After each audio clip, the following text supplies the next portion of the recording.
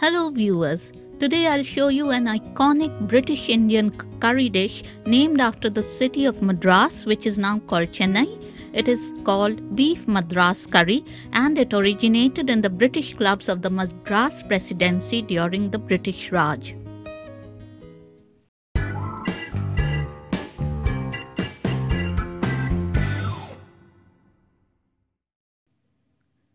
For this recipe, I'll be using some very expensive beef as you can see here from the price tag. Even at a bargain, it costs a bomb.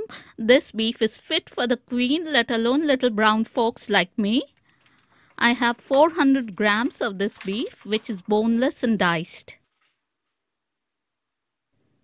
I'll also need one large red onion, one tablespoon each of crushed ginger and garlic, half cup of canned tomatoes,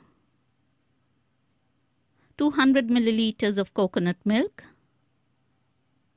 1 teaspoon of tamarind paste, 2 tablespoons of desiccated coconut, 1 teaspoon of turmeric powder, and now the main spices, 1 tablespoon of coriander seeds, 1 teaspoon each of cumin and black mustard seeds, half teaspoon of fenugreek seeds, 4 cloves, 3 green cardamoms and a cinnamon stick, 2 dry red chilies, some black peppercorns, and a handful of curry leaves. Let's dry roast the main spices for 2 minutes on a low flame. Then add the desiccated coconut and roast for another minute. Make sure that the spices aren't burnt keep stirring the pan and then grind them into a powder like I have done here. Heat some coconut oil in a cast iron pot. Then add the sliced onions into the pot and fry them for 2 to 3 minutes.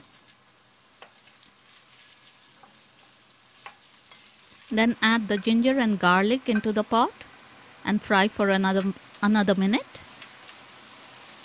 Then it's time for the diced beef to go into the pot. Fry the beef on high heat so that it gets nicely browned on all sides like you can see here and then add the turmeric powder into the pot mix it in Then add the ground spice powder into the pot and blend it in.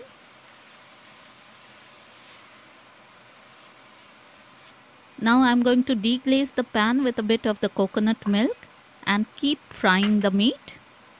This adds flavor to the dish. Then add the canned tomatoes into the pot and continue frying until the tomatoes are totally dissolved as you can see here. Then add the tamarind paste into the pot and mix it in. Now it's time to add the rest of the coconut milk into the pot and mix it in thoroughly.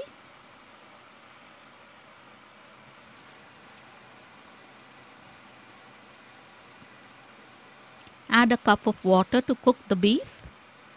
Scrape off the sides of the pot. Add salt according to your taste. And then bring the pot to a boil. Cover the pot and cook on low flame for 45 minutes to an hour. After 45 minutes, open the lid and check to see if the meat is cooked and if it is nice and tender and our beautiful beef madras curry is ready.